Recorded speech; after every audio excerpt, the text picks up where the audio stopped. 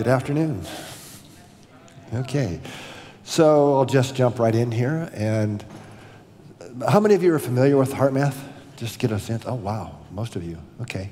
Um, this is our mission statement for those of you that aren't uh, familiar with the HeartMath.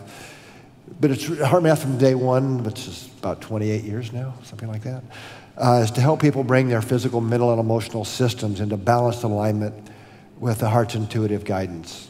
And we mean that literally. And I've done a lot of research about the heart as, as more than a pump and more than a metaphor. As the real or the primary access point to that deeper part of ourselves, whatever we want to call it. Every culture has their name for it soul, spirit, higher self, larger capacities. Um, and a growing body of evidence is starting to suggest that the poets and philosophers and religions have been right all along. The heart really is that. But anyway, by learning to follow the guidance of the heart, unfolds the path for becoming heart empowered individuals who choose the, the way of love, which is demonstrated through compassionate care for the well being of themselves, others, and planet Earth. So I would say actually that care in that context is love in action, right? I mean, we have, have to finally get down and do things to, to help people and others and the planet. So it, our research and our perspectives are really divided into three broad categories. Personal, which has really been our focus really for the last 20 some years, developing tools, techniques, technologies that help people really align with that deeper part of themselves, better self-regulate, maintain their composure, these types of things. And uh, um, so we've developed programs for the U.S. Navy, for example, law enforcement, many programs for schools and children and colleges. So a fairly broad um, thing there. And ultimately, it's always been about global coherence, but we'll never get to global coherence and alignment without social, right? So our, our past year really has been very focused on social coherence, developing new training programs and new technologies to help facilitate people getting along better, basically. So I want to, uh, part of that is a new technology platform. There we go. And its first public demonstration of this technology well, just happened at Burning Man uh, last year. It was a very cool thing. Uh, we didn't build the four-story sculpture you see here, any of that. That was a, actually a HeartMath trainer. Um, but the technology that underlies this um, was directly coming out of our, our new social coherence work. So I want to show you a quick video of, uh, of this event. I think it's pretty cool.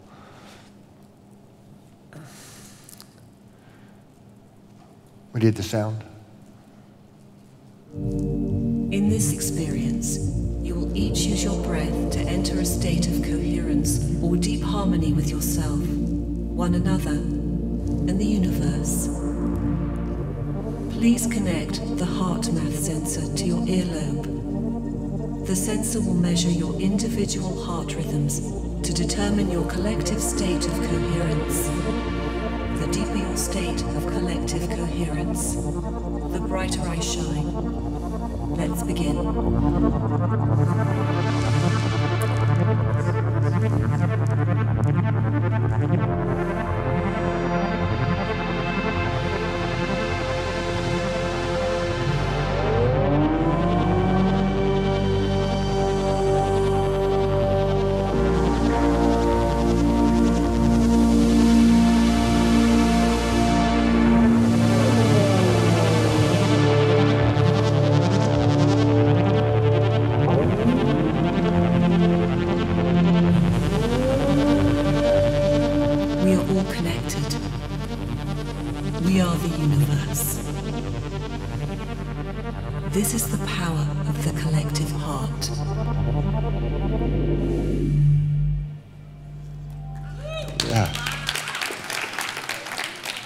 If anybody's interested and wants to see the heart rhythm coherence technology that was shown there in Powered, there's an exhibit out there that you can get hooked up and try it out.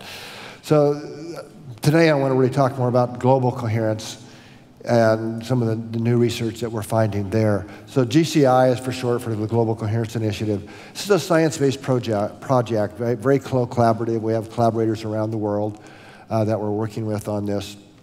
And its ultimate goal is to really unite people in heart focused care and intention to really uh, facilitate the shift in consciousness that's occurring. Uh, one from, I think, it's pretty clear, that's pretty unstable right now, uh, with all the polarities to one, you know, where we can really come together in the heart and, and uh, have some enduring peace.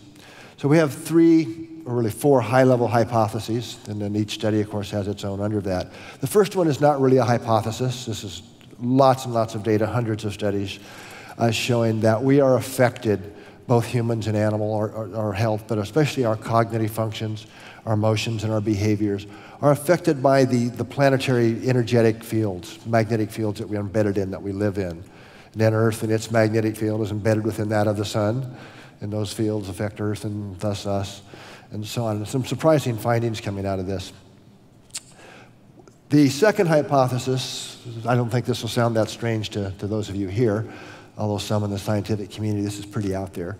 That is that the magnetic fields of the Earth are literally acting as the carrier wave of biologically relevant and patterned information. In other words, we're all connected to the Earth's magnetic field and coupled to it in biological information. So all living systems, if this is correct, are literally linked, not just metaphorically, okay, and sharing information.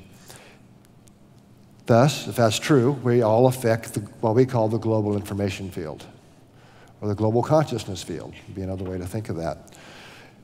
And large numbers of people, if that's true, who are intentionally creating heart centered states of care, love, compassion, other types of kindness, and so on, that is feeding the field, that, those frequencies, that information.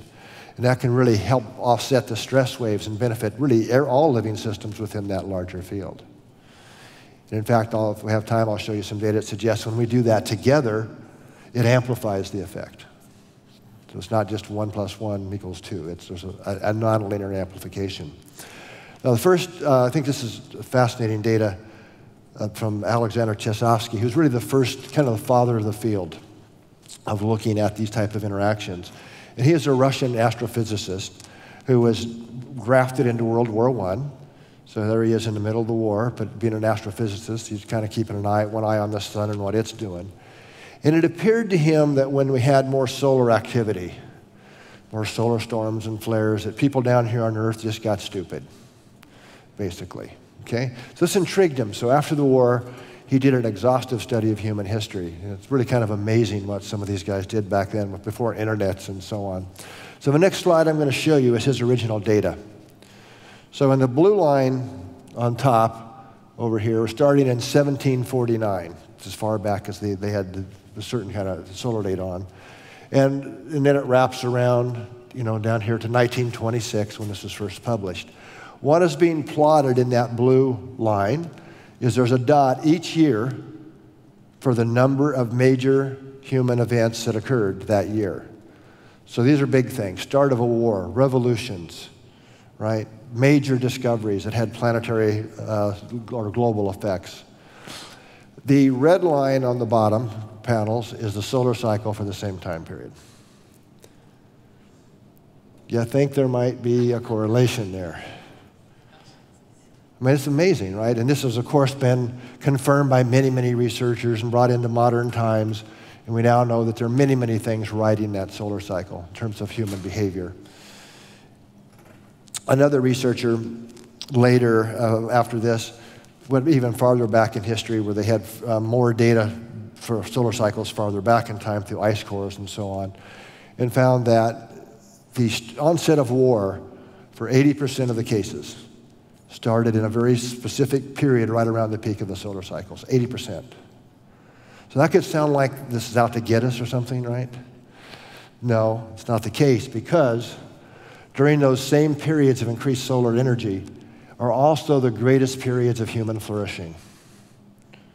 Need to really underline that and understand that. So I think of this as an energetic influx literal energy when the, during the solar, solar cycles, which is a 10 and a half to 11 year cycle, there is literally more energy produced by the sun. You can measure it. That, you know, that affects the Earth in the Earth's magnetic systems, which, as we'll see, affects us. So it's, it's how do we use that energy? How mature are we? Right? If you're politicians and immature, you start wars. Right? I was, did I give this presentation in a few years ago in Saudi Arabia, actually. Somebody in the audience stood up about this point and says, well, well, can't we just lock up all the politicians during that period, right? Not a bad idea. True story. Um, but anyway, it's the greatest periods of, of music, arts, science, always all flourish. So we either use that energy to invent new things, collaborate, work things out, or if we're not well managed and self regulated, right, getting squabbles and so on. So to do science, we have to measure things. So we've had to create um, a system to really listen in on the earth. What is the earth telling us? What are the rhythms and frequencies of the earth? And that's called the Global Coherence Monitoring System. And this is a network, and it's the only one of its existence. And I wish we didn't have to do this ourselves. It's a lot of work and fairly expensive to do. But these are exquisitely sensitive, some of the most sensitive magnetometers in the world that are designed specifically to measure the magnetic rhythms and frequencies of Earth. And I'll explain what those are in a second. And we have them around the world. This is, the systems are not complete yet. We're about halfway there. So we have sites now in here, one in California, uh, Canada, Boulder, um, Saudi Arabia, South Africa, New Zealand, and Lithuania. This is what the site here in, uh, where, we, where I live in Boulder Creek looks like. The magnetometers are these long things, about three feet underground. So one of the things we're measuring is the um, magnetic fields, as I kind of said. That this picture here is kind of this idealized picture of the what's called geomagnetic field. We all know what that is, right? The North Pole, South Pole thing our compasses tune into. So remember back in probably junior high, somewhere along the way, in science class, and we got to dump iron filings on the glass plate, right? And you put the magnet under it, and, and they all magically show you the shape of the field. And, but they line up in lines, remember? It wasn't just kind of smooth thing. It's, they line up in these lines. Those are called flux lines. what the white lines here represent. Those are real things. Now, what I'd like you to think of is this is the way it literally is, of those flux lines, those magnetic field lines, think of them like guitar strings. And what happens when you pluck a guitar string or any stringed instrument? It vibrates, right? And depending upon how tight the string is, it has a resonant frequency, pitch, note, whatever we want to call it. Well, what's vibrating or what's plucking the strings of the earth is the solar wind rushing by. And these are called field line resonances. Pretty simple, field lines resonating. And this is actually fairly new data. This is from new, new satellites that uh, were just recently, about two years ago, launched. And what you're seeing here, the little dot in the center here, whoops, wrong one. How do I go back? There we go. Oops. A little dot in the center, that's Earth, you know, Earth up there. So what we're seeing here, this is not some artist thing. This is actual real data from these satellites, is we're seeing the ringing of the Earth's magnetic field. Right? So the resonance of the, the field line resonances. And if we measure these on Earth, the first peak that you see there is 0.1 hertz. This is one of the primary resonant frequencies of the field line resonances of Earth. But they all overlap the human heart, cardiovascular system, and the rhythms in our nervous system. And I'll make this point because when we, one of our earlier work in heart coherence and heart brain interaction found that this is a heart, this is a human heart rhythm of when somebody's in a loving state or appreciative state. Our heart rhythm beats out this very beautiful sine wave pattern, and the frequency of it is 0.1 hertz. It's not close, it's exactly the same as the resonant frequency of Earth. Us, Earth, right? Human heart. The story gets a little cooler because another set of magnetic frequencies we're looking at and our sensor sites are designed to measure are called Schumann resonances. A lot of people have heard of these. Fewer people know about field line resonances, even though they're much more magnetically speaking powerful. So Schumann resonances are the magnetic waves that get uh, trapped between the surface of the Earth and the bottom of the ionosphere right? There's eight of them. First one is 7.8 hertz. This is the frequencies of the, the eight, there's actually eight, the eight Schumann resonances. Well, these all overlap human brainwave frequencies. So Earth is singing away, if you will, 24 7, the same frequency as our heart, the powerful one, and our brainwaves, a little bit smaller magnetic. So I'm going to cut to kind of the end story of a lot, not end story, but a, a long way because there's a lot more in between here. But what we have been doing is recording groups of people their heart rate variability, heart rhythms over many weeks to months. And this is, as far as we know, never been done before. First question was to ask, well, can we see how these changes in the background magnetic field of the Earth affect our nervous system? Because heart rate variability uh, reflects autonomic nervous system dynamics. And that's all there. We've got lots of great significant effects, all, published if you're interested in that. But the surprise came when we time synchronized this, this is the first group of individuals' data. Basically, just average their beat to beat heart rate together. So you imagine this is a little background here. This is a group of people who is spread out across the state of California. Some in southern, some in northern, some in central. It's not like they're in a room holding hands meditating for 30 days. They're going about their normal lives. So what we found, the total surprise, whoops, I keep hitting that wrong button, is the, the blue line here is the group's averaged HRV. We expected it to be a noisy flat line, just all averaging out. It's not what you, you can see, it's not what happened. What this indicated was that this group of people's heart rhythms were literally synchronized to each other. Now, how could this possibly be, right? So, as it turns out, what explained it is the red line, and that is the power in the resonant frequencies of Earth's magnetic field. So, what we saw here was a pretty strong indication that humanity, right, I can say that now, was literally synchronizing to each other and to the Earth.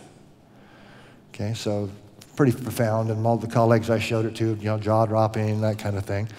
But before we published this, we needed to kind of confirm this. I mean, California, right? All those kind of things, you know, synchronized to the earth and all that.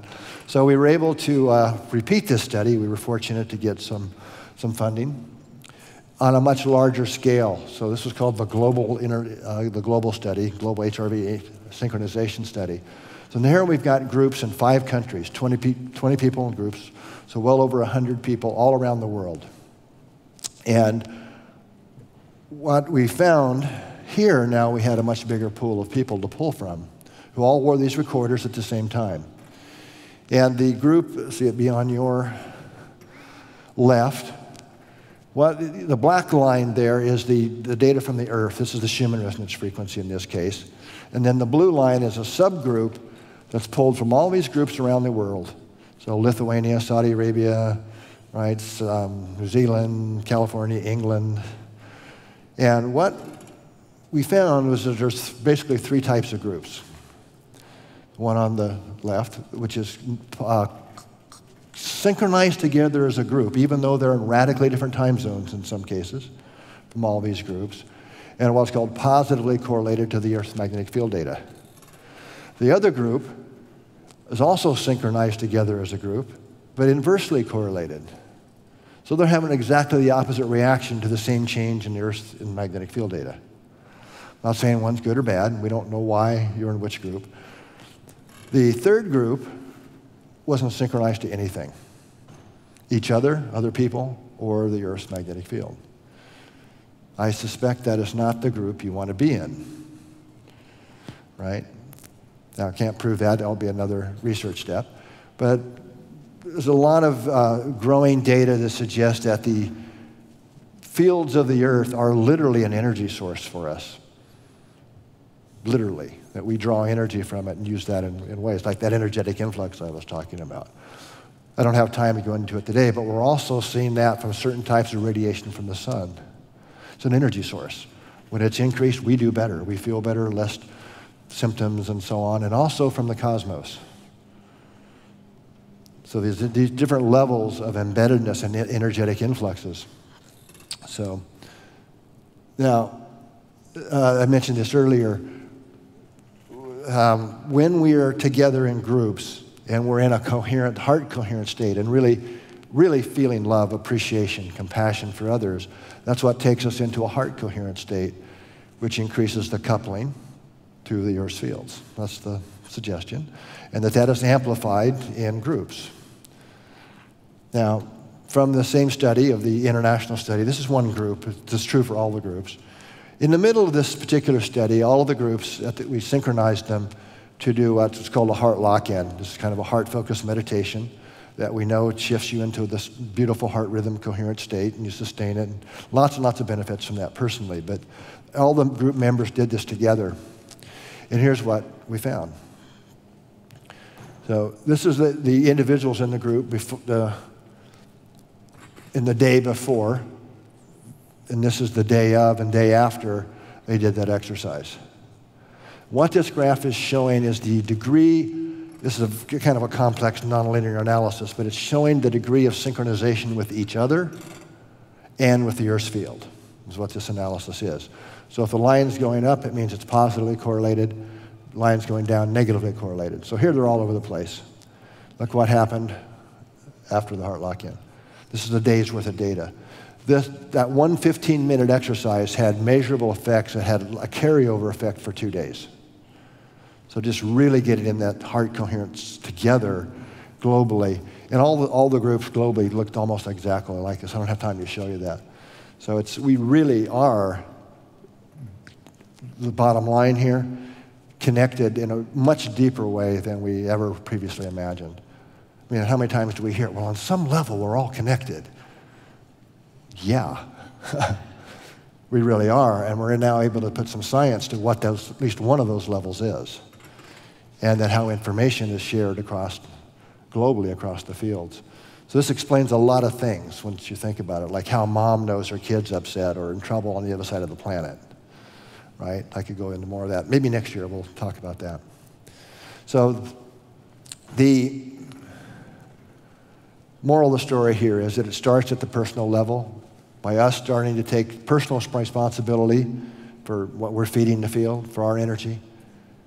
You know, and as we work together to become more self-regulated, more coherent in our groups, that's moving us towards social coherence. And as enough groups around the world do that, eventually that moves to global coherence. Because it's putting out a stronger signal.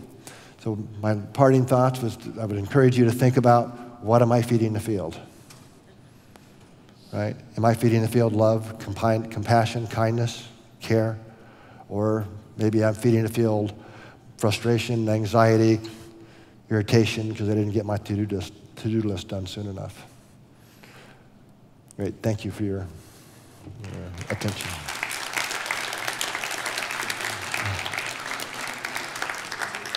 We can do some question actually. We are, we are five minutes ahead of time. Again. We're, we're Let's early. do. If you, yeah. I said I was no, out it's not your fault. You're okay, I said I was out of time. You're good. You're, you're okay, awesome. I'm out of time. Anybody has a question? Yes, there we go. Can we get these out of my CPU? Oh, there. I'm delighted because I actually sat in your apparatus at Burning Man, so it's a pleasure to oh, meet you were part of that. I wasn't there, but uh, great. I sat Probably. there in those chairs and I actually wondered. It was lovely. It was sort of vibrated, and, and then there was the earphones and something got attached.